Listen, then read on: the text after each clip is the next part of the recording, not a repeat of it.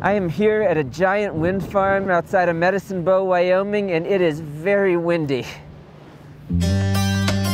Over the last century, cities like Los Angeles, Phoenix, and Las Vegas reshaped the American West by building coal plants and hydropower dams to fuel their growth. Now these cities are doing it again, only this time with solar farms, wind turbines, and power lines.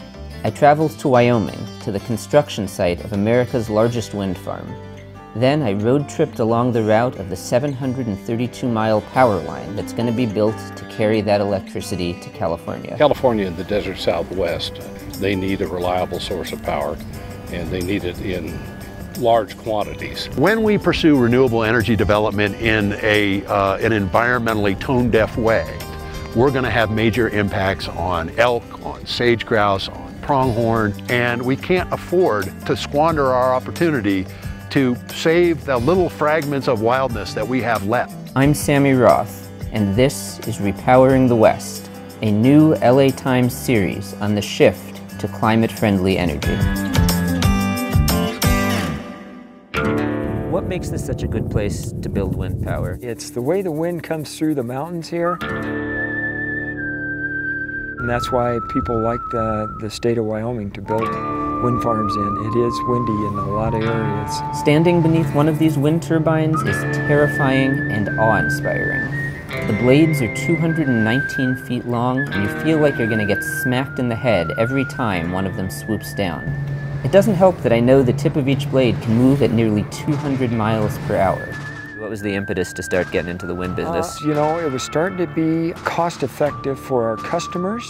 They were able to show that these new wind sites could compete with some of the coal and other generations that we have. The uh, larger wind turbines have so much more advanced technology than the older ones. The towers he used to climb in, you had to hoof everything up the ladder.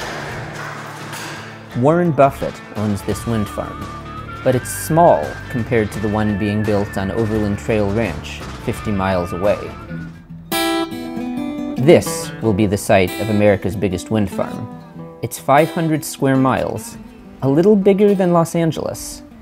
The wind farm is being built by Phil Anschutz, who owns the Coachella Music Festival, the LA Kings hockey team, and Crypto.com Arena, formerly Staples Center. Anschutz owes his $11 billion fortune in part to oil and gas. One of the craziest things about this wind farm that we're going to see is that they're basically building it on spec. The Anschutz company has spent like hundreds of millions of dollars permitting and beginning to construct this wind farm and the transmission line, and they, they don't have a buyer for the energy yet. Bill Miller is a longtime oil and gas landman who oversees Anschutz's energy and agriculture businesses. He took us to the top of the Continental Divide, the dividing line between the watersheds of the western and eastern United States. Now, the ranch is 320,000 acres, 500 square miles. Permanent residents on the ranch, we have three. Yeah. So looking at the Continental Divide here, got Bridger Pass over there, kind of the low point, which is where Jim Bridger passed through on the Overland Trail. On this side of the mountains, everything drains to the Mississippi River to the Gulf of Mexico, and on the other side, it all drains to the Gulf of California through the Colorado. How many wind turbines are you guys going to put out here? 600 plus. That's huge. There aren't many projects that can compete with this on scope or scale. I mean, solar and batteries is a fabulous solution. And at what point does the cost become prohibitive to do that? So we just look at it and say, okay, the market is going to be there. Wind, I think, is going to be one of the key elements of the transition. What we're all going for, I think, in the end, is going to be a cleaner energy sector. Did you think when you started in 2008 that here in 2022 you'd still be doing this? No. we had no idea it would take this long. Miller has been trying to get this wind farm permitted and built for nearly 15 years, in part because not everyone is in love with the project. So this new wind thing has really rocked a lot of boats because for a while there they were looked at as the enemy. Every watt of power the wind farm makes is a watt of power the fossil fuels is not going to sell. Some of that's changed because a lot of people are now working for the wind farm.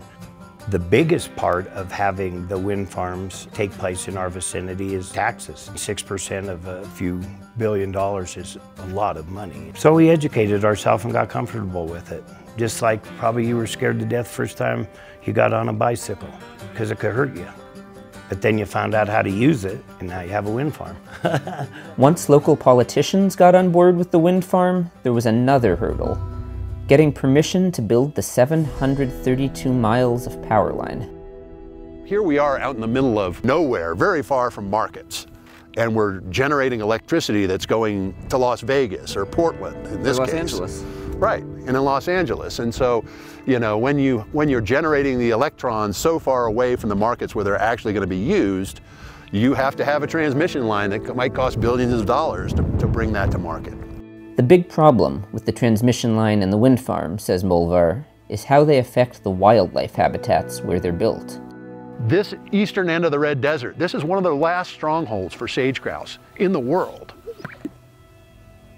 This is something that's precious, and we can't afford to squander our opportunity to save the little fragments of wildness that we have left.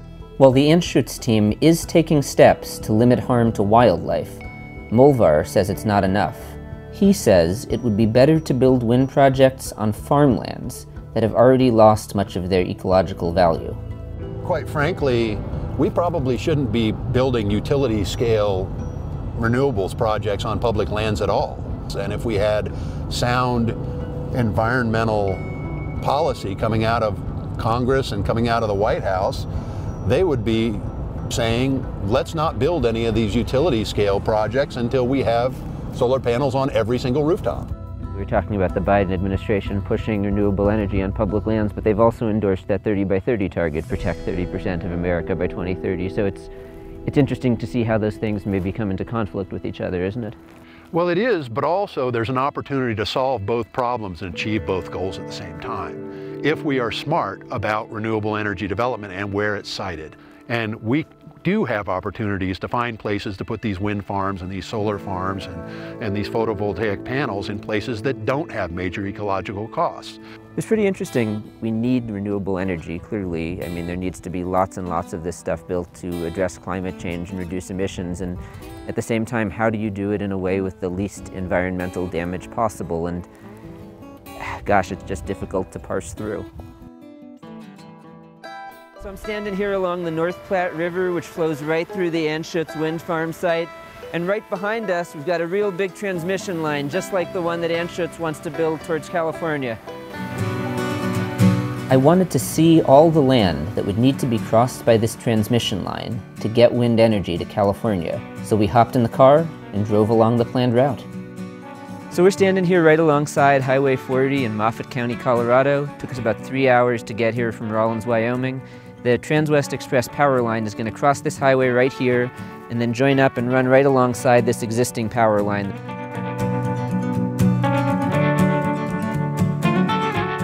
You're starting to see the river corridor oh, yeah, down. See the Yampa down there.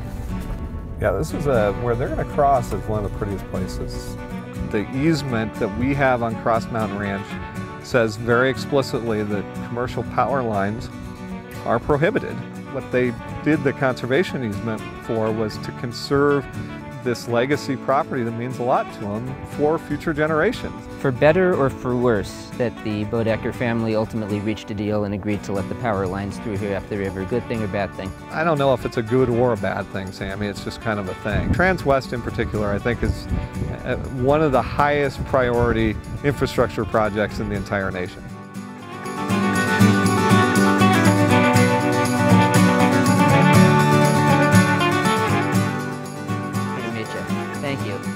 Mind, I mean, this is part of the monument experience when people come off of Highway 40 in this direction. And that explains, as I understand it, why at the monument you're not so thrilled about two power lines getting built across the road here. Is that right? I mean, I think it's overstating it to say I'm not thrilled about it.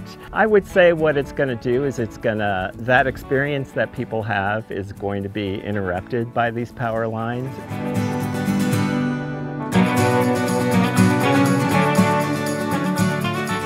We're standing here uh, outside of Roosevelt City, Utah, historically a big oil and gas town. And the uh, Transwest Express power lines would run right across this sewer lagoon facility here that the city owns. You definitely got folks in town here who are not happy about seeing another power line running across the farmland and so close to town. After seven days on the road, I finally made it to Boulder City, Nevada, where the Transwest Express power line would end and all that wind energy would be injected into California.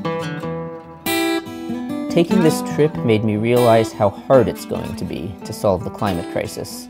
There are just so many conflicts out there on the land, but there's common ground too, if we're willing to look for it. For me, the biggest issue that we all face right now is this conflict between more conservation at the same time we need more renewable energy. You're going to see this country transition away from fossil fuels, but it's not going to happen overnight. It has to be organized, and it's going to take a long time for that to happen. We can produce all the energy that this country needs from renewable sources without having a major impact on the biodiversity and on the lands. That's the future we need to get to. Thank you for watching. For more stories from our road trip, check out my article at latimes.com slash repowering the West and look out for more episodes in this series.